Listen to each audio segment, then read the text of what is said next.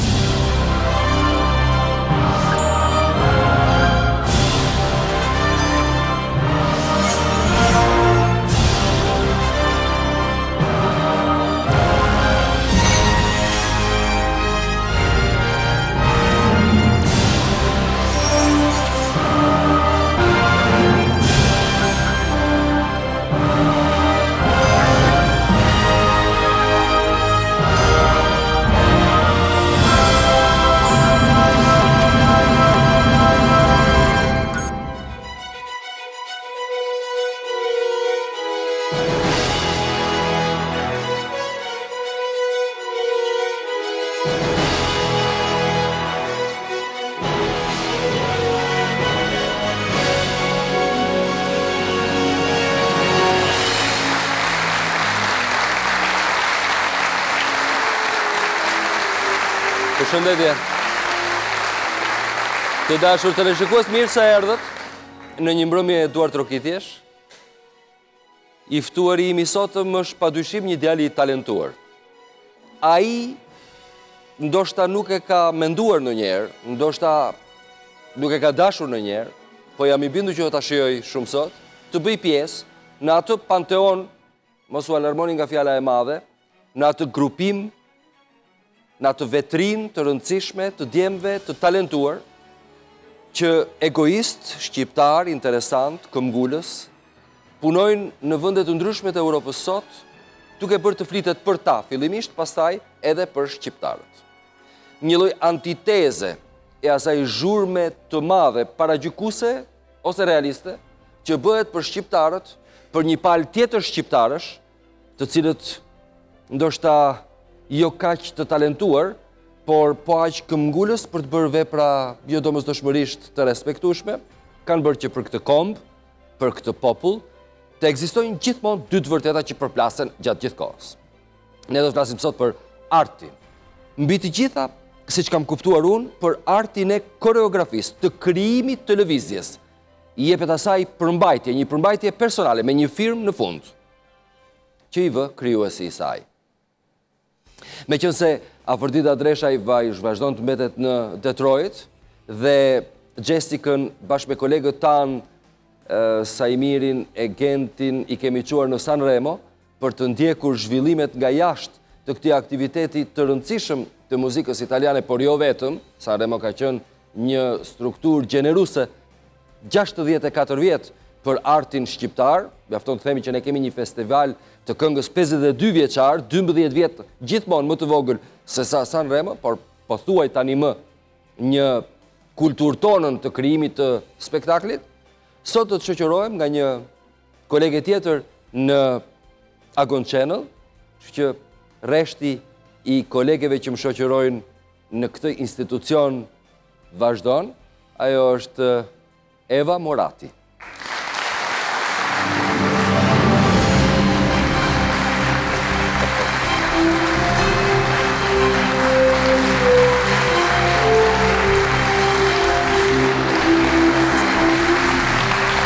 Përshëndetje Adi. Përshëndetje publik i nderuar. Po të them se jam emocionuar sot këtu është pak. Po mund të them se është një nder edhe privilegj që jam përkrah teje sot. Është gjithë kënaqësia, edhe nderi edhe privilegji më takon mua, sepse kam idenë që po ndodh një fenomen në televizionet shqiptare. Sa më shumë që dallisesh nga mosha, aq më shumë të japin të drejtën të Bashkëdrejtosh me prezentatore në numër. Kështu që kjo nuk më ka ndodhur as në fillimet, po më ndodh tani, po është shumë mirë, është jashtëzakonisht e pranueshme nga ana ime. Kërë shumë antifat, imagino se çfarë duhet të mund. Çfarë ndodh me ty, si po shkon Antilope? Një mrekulli, le të themi, shpresoj që të na keni ndjekur. Kjo ishte një mundësi, një fat, konsideroj vetën si njeri me shumë fat, dhe fati goditi përsëri. Dhe ja ku jam sot, midis jush. Sot, bashkë me Evën, do t'ju njohim me një djalë shumë të mirë. i cili përpara se të hyjë në skenë me çiltërsi kërkoi një favor, meqenëse kemi jetuar që në dy mijë e katër në tha 10 vjet intensiv në shumë vende të Europës duke folur, duke krijuar ai madje kishte edhe një të dashur për cilën nuk dëshiron të flitet, meqenëse ajo nuk është shumë e rëndësishme, duhet të jetë me sa duket kalimtare momenti derisa të gjejë njeriun e duhur të jetës, është 28 vjeçar, tha mund të mos më vijë shumë mirë shqipja. Unë thashë, "A, Sot rregulloje mirë Shqipen, bëj dashuri me Shqipen, sepse ky program mbetet, ti do të bëhesh koreograf shumë i madh në të ardhmen, emri yt do të dëgjohet pa dyshim, sepse e ka filluar jashtëzakonisht mirë, por ato që thuhen sot këtu kanë shumë rëndësi për marrëdhënien tënde me popullin shqiptar. Kështu që pa humbur kohën e do ta ftojmë? Ta ftojmë në studio.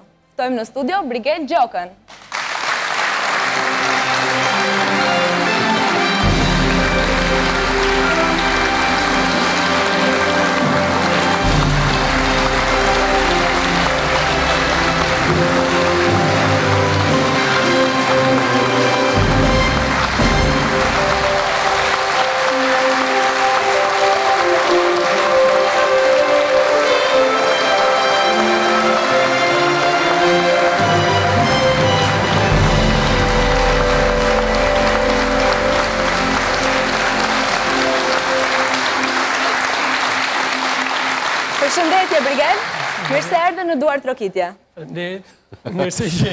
është kënaqësi e madhe për ne, o, ne kemi parë djem të talentuar, do të vijë shumë shpejt Anbeta për ta plotësuar këtë grup të madh të miqve të kledit, ose të miqve të baletit, ose të miqve të koreografisë.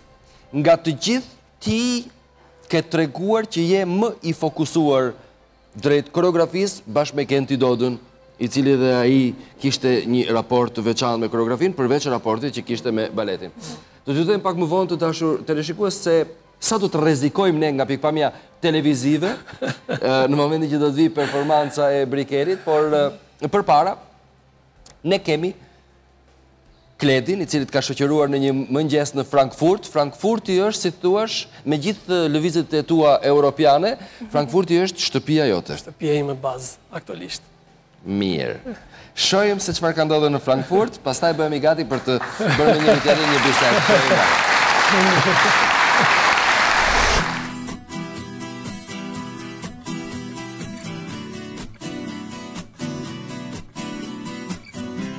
Sot do takohemi me një tjetër ekselencë shqiptare, me balerinin shqiptar në Frankfurt, Brigel Gjoka, i cili bën pjesë në një nga kompanitë më të famshme në të gjithë botën, The Forsythe Company.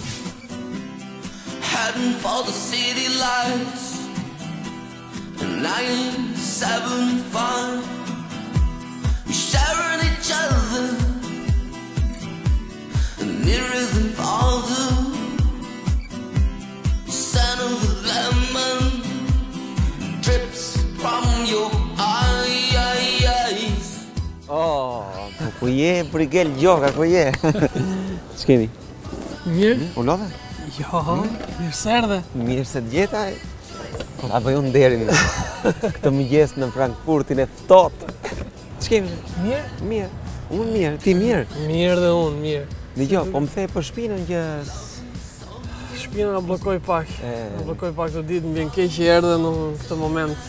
Që nuk mund të shikoj në shfaqje, po ti e di që këto janë pjesë e profesionit. Po, po e di se E kam ka ndodhur edhe mua, kështu që është mirë që e ke marrë shallin se Po pra, më përgatite, më tha, më the, hajde se nuk është në Romë këtu. Do të shëtis në disa vende, në vendet ku unë kaloj shumë, se them, një nga vend piacat më të vjetra këtu në Frankfurt, dhe e di ti se Frankfurti është shumë qytet industrial. Edhe do të tregoj pak për historinë e qytetit. Sa sa vjet ke që jeton në Frankfurt? Jetoj në Frankfurt, ky është viti 4. Viti 4 aktualisht jam pjesë e kësaj kompanie. E zgjodhe ti Frankfurtin apo të zgjodhi? E zgjodha unë Frankfurtin, se më përpara kam jetuar dhe kam jetuar këtu afër, afër në Mainz, por vendosa, vendosa në Frankfurt për faktin. Sepse kompania, kompania e Forsythe. Kompania e Forsythe ndodhet këtu. Ka vetëm një bazë apo dy baza? Edhe, ne kemi dy baza, që është, janë të lidhura dy qytetet, Dresden me Frankfurt, edhe gjysmën e kohës e ka në Frankfurt, gjysmën në Dresden, si partnerë. Gjysmën e shfaqjeve këtu, gjysmën e shfaqjeve atje, pjesën tjetër jemi në worldwide. Po mirë, sot është e diel, është gjithmonë kështu të dielën? S'ka njeri? Po kështu është të dielën, siç e shikon. Duket sikur është shtetrrethim. Shtetrrethim. Brigel, po... Puna mirë. Puna mirë. Aktualisht jemi Jemi një seri shumë shfaqjesh, shumë të lodhshme, prandaj edhe unë jam pak si i bllokuar. Edhe më vjen keq që ti erdhe po, edhe nuk më shikon në shfaqje, po duke ditur se kemi bërë 10 ditë nga dy shfaqje në ditë, me thënë 20 shfaqje, brenda 10 ditë. Është normal atëherë. Shumë shumë e lodhshme. Ti trupi është po, shfrytëzuar në maksimum dhe normal që Edhe nuk jam i vetmi nga nga puna. Jemi thjesht 2-3 2-3 balerinë që fillojmë me probleme nga lodhja fizike. Jeni për nisje? Ne jemi për nisje, jemi duke u përgatitur, pas 10 ditësh jemi të ftuar në Brooklyn Academy of Music në New York. Jemi guest për të të ftuar, të ftuar atje, të performojmë një javë. Sa do rrini? Do rrimë një javë, një orë kemi, kemi pes shfaqje.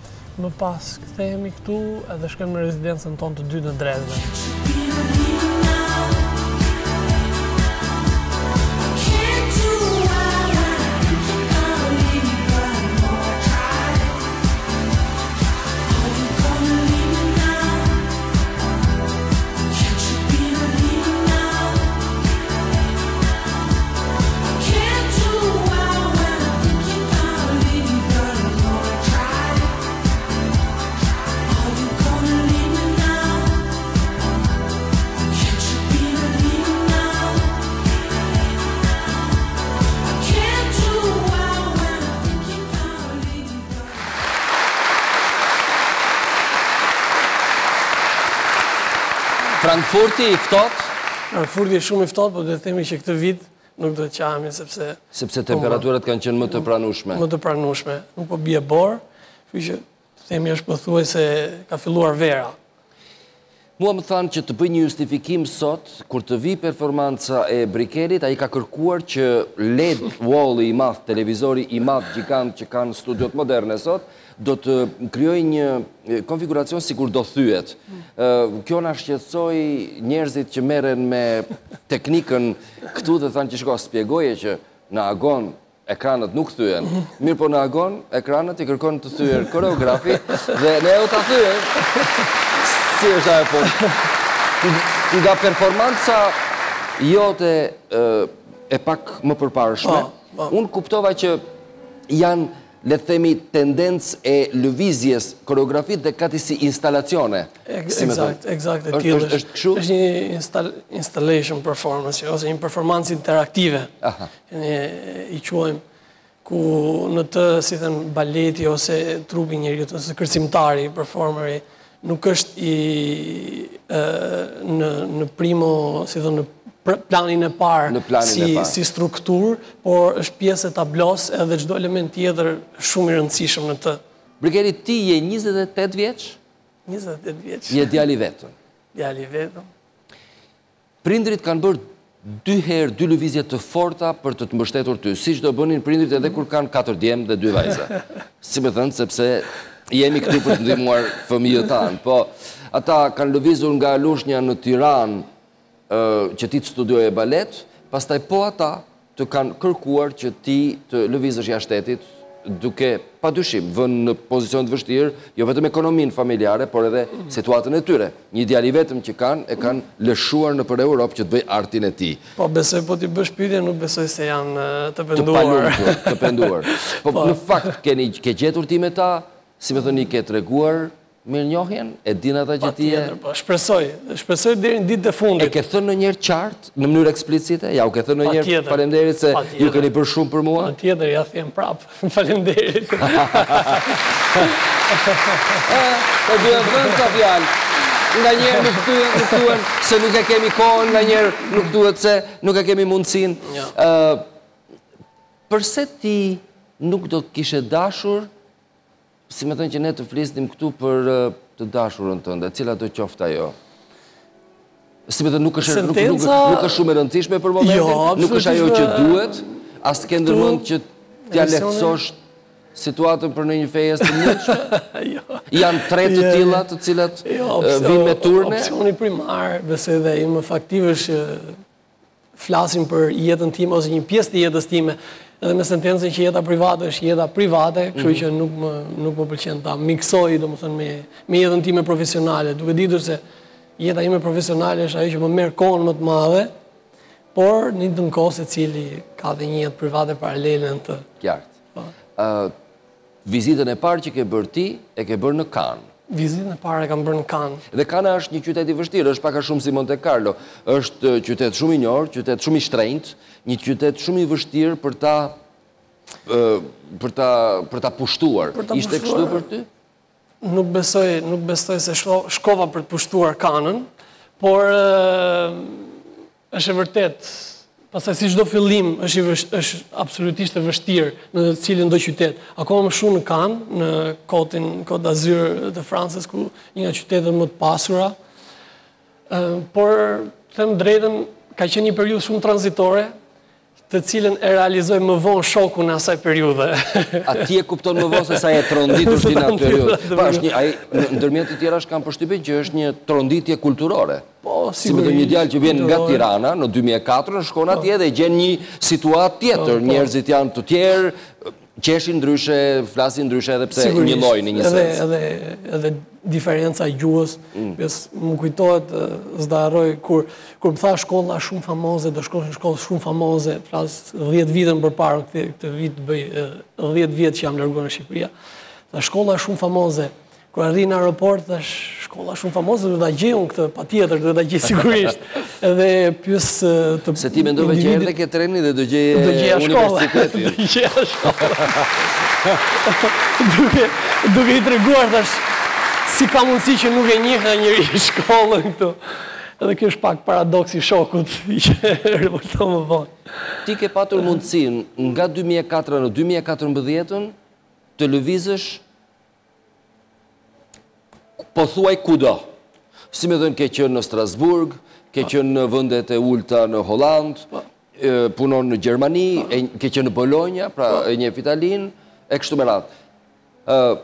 Ndërkohë, nuk bëhet fjalë për ty, për balerinin super klasik me formimin tipik të baletit, po, të po, po. terminologjisë e të strukturës. Mm. Po, kjo koreografia ultra moderne, që sot sa ngacmon, po aq edhe të pështjellon, po aq i drejtohet dhe një grupimi relativisht të kufizuar të publikut, të ka bërë të lumtur, apo ka qenë një rrugëdalje? Si da, si, si ti an, anash, ta kthej për ta kthej. Bjeri për ballë, ti mund në mund në bjeri mund në ballë. Unë jam një balerin, unë jam një, një balerin klasik, kam bërë formacionin edhe unë duke ardhur nga shkolla shqiptare. Ne kemi pak a shumë të gjithë balerinët dhe kolegët e mi që ishin përpara dhe ata që do vijnë, ne vijmë nga një background. Pastaj secili ka, ka ndjekur rrugën e tij edhe formacionin që, ose dëshirat që ai ka dashtë të aplikojë. Por baleti klasik është shumë i qartë, o të paktën për mua si individ ka qenë shumë i qartë, edhe është shumë perfekt, shumë shumë i pastër kur është kur është i bërë bukur.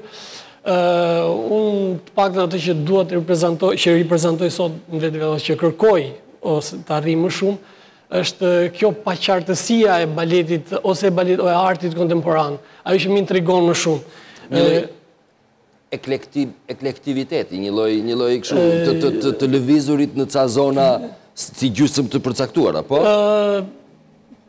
Edhe po. Edhe po, po e shoh si një dritë, domethënë në fund të një errësire shumë të largët, por nuk e kupton se nga vjen spoti, edhe je gjithmonë në kërkim ose në në në mundim për ta arritur atë. Si si cili është Gëzuesi i performancave tuaja. Kush është publiku juaj? Çfarë ndodh me të? Çfarë janë? Çfarë moshe? Çfarë seksi? Çfarë formimi? Pak në kompaninë në cilën unë reprezentoj edhe ku punoj aktualisht në Forsythe Company, duke ardhur ka një histori shumë shumë gjatë nga vetë koreografi William Forsythe. Një nga koreografët po e lidh pak me historinë e tij duke e shpjeguar këtu ku jemi sot, një nga koreografët i cili theu rregullat e Balanchine e George Balanchine dhe arriti arriti t'i bënte një counterpoint të të, të baletit klasik duke ndërthur një, kontra, një kontrapunkt, kontrapunkt, një, një këndvështrim ndryshe të kundër. Ekzakt. duke evoluar, duke kërkuar gjithmonë gjithmonë më tej më tej baletit ose më shumë duke kërkuar në individ, te baleti më shumë se sa vetë lëvizja si më shumë se sa vetë lëvizja, sepse në përgjithësi balerinët konsiderohen ose në përgjithësi një artist është konsideruar O riprezentuar nga ngjyrat të cilat i ka studiuar, por ngjyrat janë të pafundme. Edhe gjatë rrugëtimit mund të pëlqejnë dhe ngjyra të tjera, kështu që si shumë koreografë tjerë, pa pa i neglizhuar dhe ai ka dalë sot, si themi jemi, ai eksploron më shumë individin. Individin sa larg mund të shkojë, sa larg mund të shkojë Adi me me folinë e tij. si ta themi. Adi me çmendurinë e tij. Me çmendurinë e tij. Shumë larg. Edhe, edhe... Ia vlen të studiohet edhe sa larg mund të shkojë shqiptari në çmendurinë e tij. Sa larg mund të shkojë, mund të shkojmë secili nga ne. Po, përpara se të ndjekim një material tjetër, dhe mua më vjen mirë që ti E ke shkrifëruar shqipen edhe unë kam idenë që të gjithë njerëzit këtu në studio po e shijojnë këtë këtë tregim të jetës së një artisti të ri. Duke pasur parasysh që Koreografia e artit modern, e artit kontemporan, është një koreografi, si me thënë, jashtë a relativisht larg asaj, atij sensi të përcaktuar të baletit klasik. Aty brenda ka efekte, aty ka pamje, aty ka njerëz, aty ka lëvizje të tjera që janë domosdoshmëri, jo domosdoshmërisht lëvizje baleti, aty është natyrisht kërcimtari, etj, etj. Cila është Në këtë rast, shfaqja më skandaloze do ta kisha quajtur unë, më më provokuse, që në të cilën ti ke marrë pjesë, bashkë me kolegët e tu, që ju kanë ardhur me ndonjë zdap, ju kanë thënë që po s'u larguat nga ky vend për 24 orë, ju marrim shpirtin? Jo, shfaqjet tona janë relativisht shumë të ndryshme, kanë kanë sens provokues, patjetër duke duke eksperimentuar patjetër që mund të ketë sens provokues. Por të arrijnë deri në atë farë pike, nuk besoj, patjetër ka ka dhe publik që edhe janë çuar, edhe kanë ikur të pakënaqur nga ato që prisnin, por kjo ndodh për veç faktit sepse kështu funksionon njeriu, duke ditur se ne shkojmë me një ide fikse në një vend të caktuar dhe presim diçka. Por emocioni që ti përshkron gjatë këtij kësaj rruge? Është gjallë William Forsythe? William Forsythe sigurisht është gjallë. Është 70? Jo, William Forsythe duhet të jetë 64, 65. Por shumë në formë. Ai ka qenë ai ka qenë drejtor i drejtor artistik po mendoj i baletit të Diku në Gjermani? Ai ka qenë drejtor artistik i Frankfurt Ballet, i Frankfurt Ballet, Frankfurtit, operës Frankfurtit. Dhe pastaj ndërtoi këtë kompani pikërisht për të bërë një eksperiment të madh në një laborator të madh njerëzor, apo jo? jo? Besoj ai donte të shkonte më larg, nuk i nuk i di, domethënë idetë e tij ai është shumë i komplikuar, besoj si çdo njeri, si cili do nga ne. Por si artist e vlerësoj edhe vlerësoj shumë rrugën, pavarësisht si rrugën që ai donte të të eksploronte, domethënë, më larg. Trupa aktuale e William Forsythe Company është një trup e përbërë me, me kërcimtarë ose me performers gjermanë, europian, europian shumë kombësi. Në të gjithë në të gjithë kontinentet, në të gjithë kontinentet jemi vetëm gjerman nuk kemi, duhet kemi një vajzë e cila është gjysmë gjermane dhe jemi të gjithë të huaj. Kompania nuk është shumë kompani e madhe, duke ditur se është kompani që bazohet mbi individë. Mua më ka bërë përshtypje një fakt tek ty, që mbyll këtë pjesë të intervistës tonë, ti nuk ke marrë deri tani një pasaportë të një vendi tjetër. Vazhdon të kesh pasaportën shqiptare. Pasaportë shqiptare.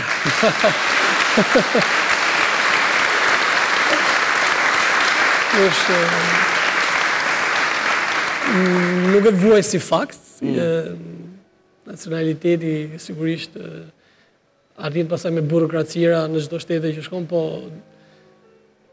pashaporta që neve na vlerëson si artist është vepra. Nga 2004 që je larguar fillimisht për në Kan, pastaj gjithandej, mm. ke ardhur ndonjëherë për të dhënë një shfaqje në Shqipëri? Në Shqipëri, jo. Nuk kam ardhur. Në vjetë është një, një distancë që është krijuar. Unë do të kisha dashur të paralajmëroja publikun edhe në studio, edhe në televizion që performanca që do të shohim ku Brikeli do të ndihmohet nga një aktore e njohur shqiptare Ema Andrea, e cila do të tregojë, do të bëjë narrativën e gjithçkaje që ndodh në atë ekranin e madh i cili kërkohet i thyer, dhe këto janë, kjo është mrekullia e të qenit artist që ti mund të Kërkosh gjithçka të mundur, të mundur dhe kjo bën pjesë në atë ëndrrën e madhe e cila është e pacënuar, është është pa pa limit, është e pafundme. Por mos prisni që të gjeni La Scala kështu me me pas de deux, me chaîné, me sy të ngy, çfarë janë ato të të terminologjirat, brenda për brenda do të ketë një strukturë relativisht të kërleshur imazhesh, situatash, gjendjesh, ose të paktën këtë parandjej unë tani. Mos jam duke folur si një hajvan rruge, edhe të thoë njerëzit që ky, ky nuk ka qenë mirë kohët e fundit, po sot nuk qënka seriozisht mirë. Je duke përshkuar në mënyrë perfekte. Okej, gjysma e të keqes. Gjysma e të keqes. Kledi dhe Brikeni kanë lëvizur në Frankfurtin e ftohtë, i cili vitin e fundit paska gëzuar ca temperatura të mira. Ata, ju keni bërë një shëtitje me varkë, në mos gaboj unë? Kemi bërë një shëtitje me varkë dhe ka qenë hera e parë. Duke jetuar pesë vjet aty. Kësaj i thonë të bësh një shëtitje për të kënaqur publikun e Shqipërisë, që ai të shohë një nga lumenjtë e Frankfurtit. E pastaj, padyshim, si një takim midis kolegësh, Është folur dhe për artin, është folur dhe për planet. E ndjekim bashkë ne këtë film të dytë dhe bëhemi gati për të takuar një njeri i cili mund të thotë diçka për fillimet e tua. E shohim bashkë.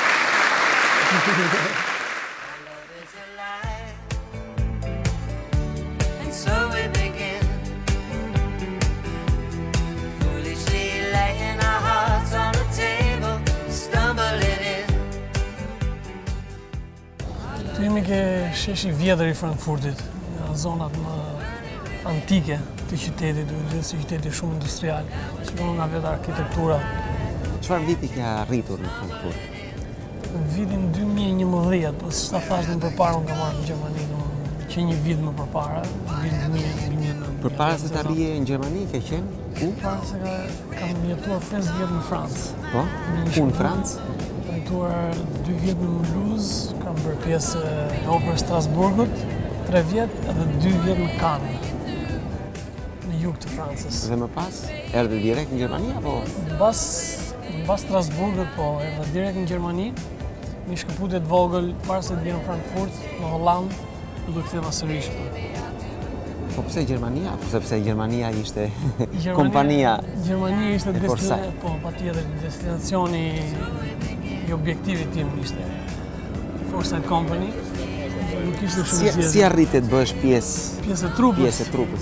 Të trupës është... Sa i kompanija? Duke qenë pjesëtar i teatrit Majncit, pata fatin që në një, një nga mbrëmjet e, e teatrit, të kërceja një nga baletet e Forsyth, edhe drejtori atë erdhi pa shfaqjen, edhe iu kujtova.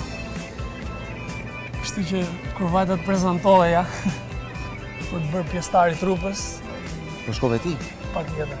Shkova unë, ishte më se, më se e lumtur që më njihte. Është një nga koreografët që të gjithë balerinët kanë dëshirën e madhe të jenë, të paktën të kenë një eksperiencë në jetën e tyre profesionale.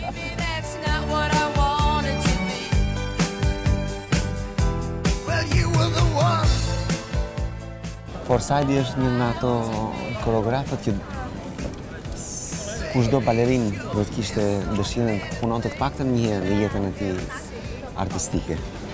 Ti ke pasur fatin dhe ke fatin, të jesh në këtë kompani. Çfarë modeli është, çfarë personaliteti ka? Patjetër është, është fat të punosh me ta, personaliteti i tij është, ose do ta përmbledh në fjalën artist, pak i çmendur, në, atë, në atë folinë e tij Që ditën e parë që kam ardhur në kompani, kam qenë tepër i distraktuar, duke ditur se ai nuk vendos kurrë, shumë i pavendosur. Edhe ndryshon, ndryshon ide sekond pas sekondi. por si ta themi, është tip sfide, e sfidë permanente, çdo ditë të punosh me ta. Balerinët e tjerë, vijnë, janë nga Nga vende të ndryshme të botës, apo si si zgjidhen balerinët? Si zgjidhen, po, një dhe një jemi multi, multinacional kompani, me të gjithë të huaj, balerinët janë, janë të zgjedhur nga ai, shumica e balerinëve janë, ka në kompani mbi 20 vjet, kasë në vjetë, dhe unë jam tepër i ri, që jam pioner akoma në këtë kompani. Po mirë, domethënë, mosha është e madhe? Ka balerinë me moshë të madhe, ka... Po është një zgjedhje që koreografi... Patjetër, bën apo patjetër është një zgjedhje që ai bën sepse kjo kompani eksperienca që balerinët kanë ekzakt ka të ka të bëjë me personalitetin e balerinëve jo jo me të dhënat fizike apo me linjat që kërkojmë ne që vijnë nga baleti klasik është më shumë një kompani kontemporane dhe konceptuale.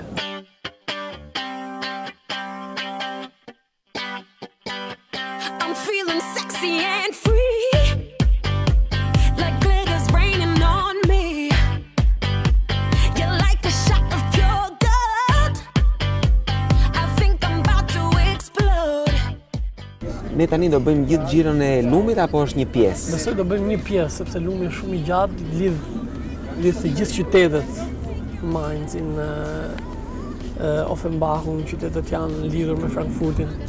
Lidhur sepse ka të bëjë dhe me marketing industriale lidhja e lumit. Kështu që ne do të shikojmë tani gjithë pjesët më pjesët më të bukura. Bukura të Frankfurtit.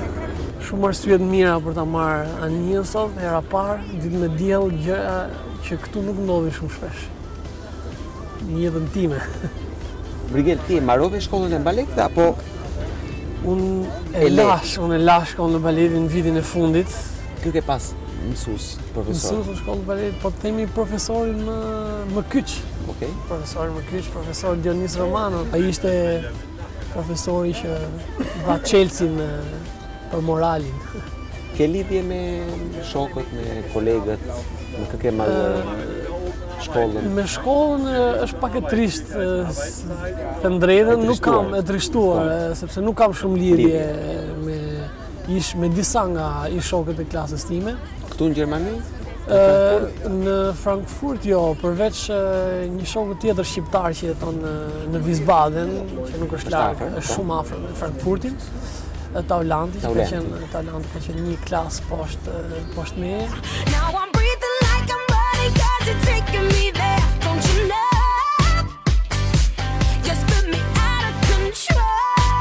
Di që udhëton jashtë zakonisht shumë Brigel, se më, më ke treguar, kam parë. Gati çdo javë je në një shtet. jo në një qytet, por një shtet të ndryshëm. Thesari më i madh që që ka ky profesion të paktën për mua personalisht, duke siç thashë në fillim, asnjë gjë nuk është origjinale në mua, jam pjesë e cilitdo njeri kam njohur në jetë, sepse duke parë kultura të ndryshme, duke njohur njerëz të ndryshëm. Baleti në Gjermani, si Çfarë vendi zë? Baleti në Gjermani është në kultura në përgjithësi në Gjermani është shumë e madhe, audienca shumë e madhe. Gjermania është një shtet i cili investon shumë për artin. Pothuajse çdo qytet i Gjermanisë, sado që i vogël të jetë, ka një teatër, ka një trupë baleti, ka një orkestër filarmonike, trupën e trup të artë.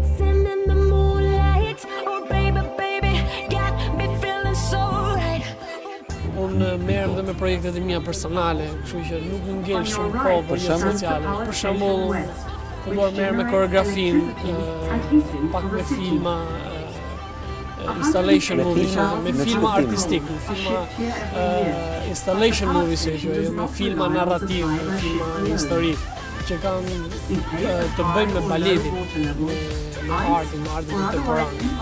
Shpresoj të thejnë një ditë.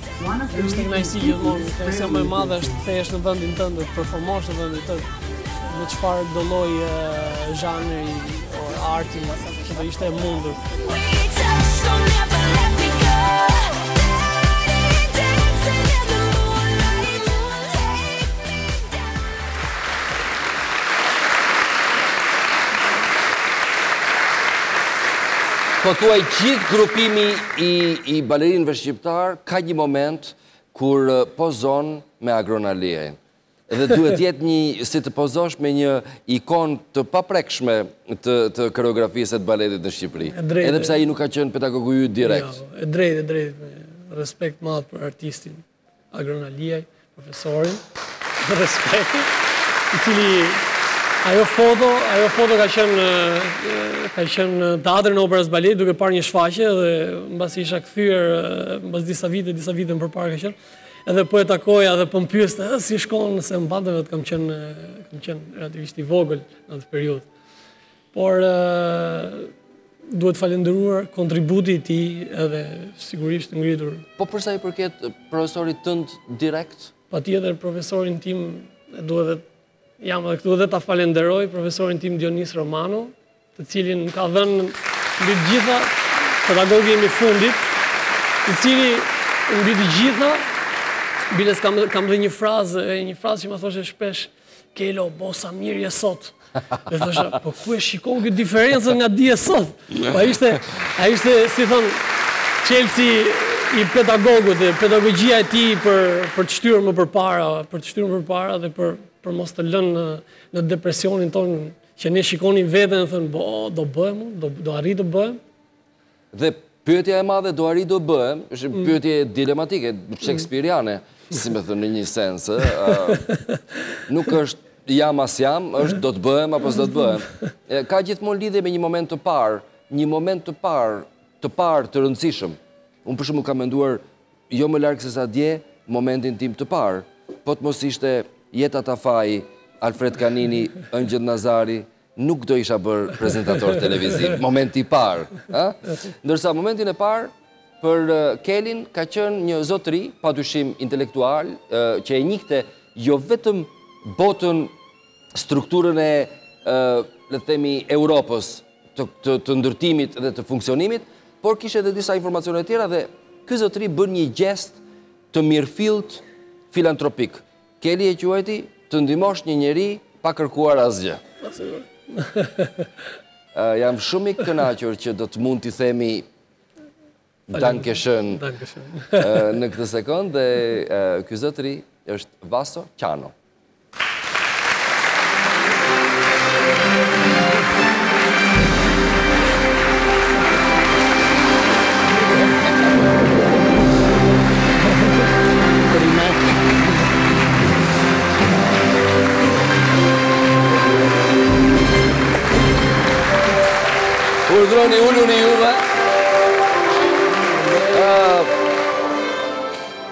Po pra, se më bën përshtypje jo vetëm e bën të madhe hyrjen edhe këto trompat që që që duhen padyshim eksaktësisht të Aidës edhe të triumfalitetit.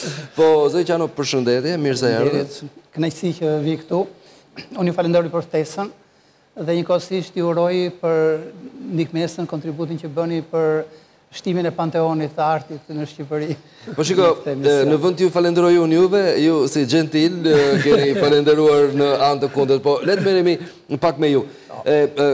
Brikeli, Keli më tregonte që në atë moment, në dy mijë e katër, kur ai ishte akoma djalë i ri, shumë i ri, Ai vathi, nuk është se nuk më bëri përshtypje në fotografinë me Agron Aliajn, paska ikur tani dhe i përshtatet një periudhe tjetër.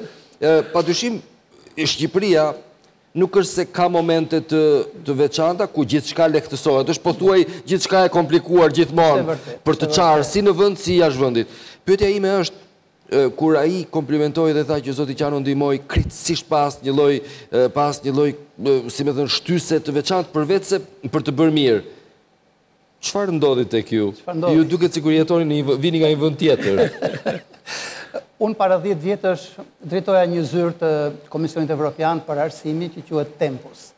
Dhe në kuadrin e kësaj zyre ne kishim edhe mundësi që të ofronim bursa studimi për talente në Shqipëri. Miku im i vjetër, profesor Agron Aliaj, më vjen një ditë në zyrë, bashkë me Brigelin. Unë e kisha parë Brigelin në skenën e teatrit të operas dhe baletit, natyrisht në atë kohë luante role sekondare, sepse ishte në shkollën e baletit dhe ata i ftonin shpesh herë të merrnin pjesë në skenë edhe balerinët e rinj. Dhe kisha krijuar një përshtypje të vagët, domethënë për talentin e tij, por profesor Agroni më sugjeroi që në rast se është e mundur t'i gjendet një bursë këtij djali sepse është i talentuar. Dhe unë u lidha me shkollën e Kanës të baletit. Më falni vetëm një moment. A mundem unë Falni ju lutem, se më duket se kur qëndronin pak në vendin jo, jo, mërë të të mërë të përstatësve. Po dhe kështu që unë u interesova nëpërmjet shkollës Ecole de Jeune Danseur de Cannes, kështu quhet, dhe aplikuam me Brigelin, natyrisht unë vetëm hapa një derë, nuk bëra më shumë, sepse Brigeli atje duhet të konkuronte që të pranohej në atë shkollë. duhej të dërgonte një disa fotografi me poza baleti, një video nga repertori i tij deri tani dhe pastaj një juri dashamirëse në Kan vendoste për pranimin e tij. Por Brigeli nuk di diçka që unë s'ia kam thënë asnjëherë. Unë ndër këtë kohë shkoja shpesh në Londër, kemi një gjë të përbashkët në këtë rast, për për studimet e mia të doktoraturës. Dhe atje vajta vizitë në Royal Dance School, të Londrës dhe u interesova nëse mund të rregulloja atje si një shkollë me nivel më të lartë. Drejtoresha më priti shumë dashamirëse, e vetmja pengesë ishte se ata pranonin valltar deri në moshë 15 vjeç. Dhe kështu që nuk munda t'i realizoj Brigelit vajtjen në Londër.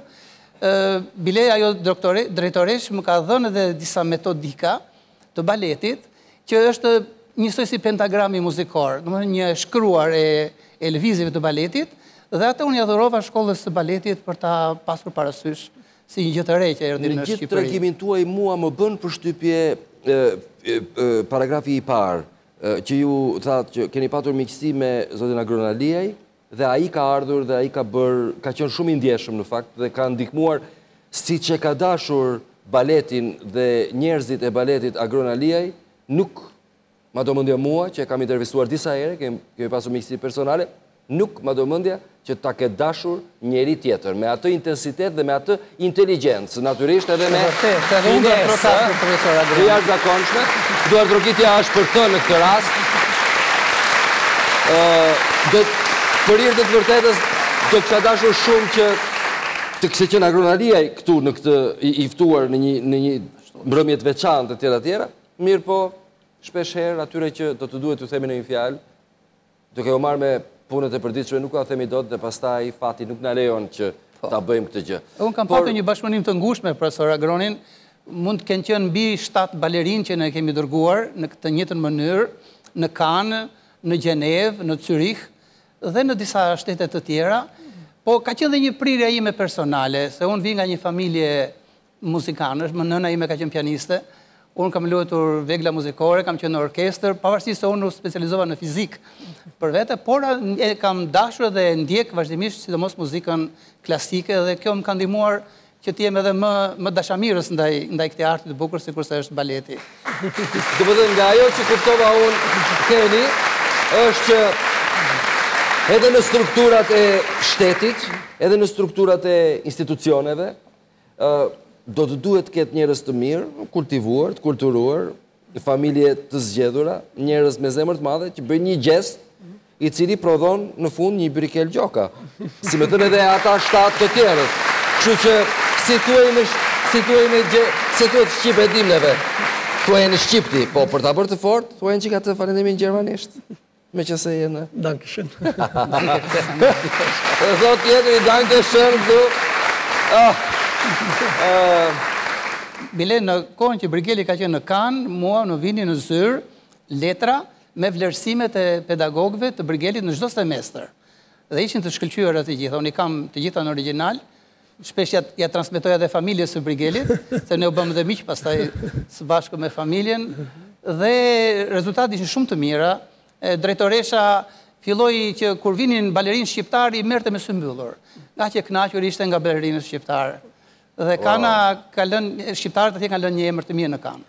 Dua vetëm ta nënvizoj pak këtë fakt, sepse kanë kaluar shumë vite, por këtë vit në atë shkollë, ka pesë shqiptarë edhe çdo vit po rritet numri edhe është një ndihmë e madhe, domethënë që Bile më bënte përshtypje dhe një gjë tjetër që Brigeli mbasi mbaroi atë shkollë, filloi përkohësisht në një shkollë në një qytet tjetër të Francës dhe kur erdhën 2-3 balerinë të tjerë, vinte personalisht i takonte dhe interesohej Pranë drejtoreshës, duke e prezantuar si balerinë të mirë, seriozë, interesohej për konviktin, për qëndrimin e tyre dhe ata ndiheshin shumë të ngrohtë nga nga ndihma që jepte Brigeli. Verzjana, unë ju falënderoj shumë që erdhët në studio dhe ajo që më bëri përshtypje në rrëfimin tuaj ishte se pa nevojën e reale të pyetjeve, ju dhatë disa, u sollët në fakt si fizikan, sepse e organizuat shumë mirë... Racionalitet. Po, pra. E organizuat mirë, perfekt, na dhatë dhe informacione shumë të rralla. Marrëdhënie me drejtoreshën, informacione, fakti që ato ju kanë trajtuar juve pak si një, në një sens, Si një patron. Madje më dërgonin urime dhe për vitin e ri. Kjo paska qenë elegancë tipike franceze. Unë ju falenderoj me gjithë zemër që erdhët në studio. Do të kisha dashur të them që ne do të jemi të detyruar të bëjmë tani për të përgatitur setin këtu në studio një ndërprerje shumë të shkurtër publicitare. E pastaj do t'i bëj një koment Brigelit për veshjen se veshjet e këtyre artistëve janë një çik të çatrafillosura nga pikpamja e e finesave, por Ema Andrea do të jetë prezente se do të bëjë narrativën, tregimin. Performanca që do të shihni sot nga pikpamja koreografike largojuni idesë që do të shihni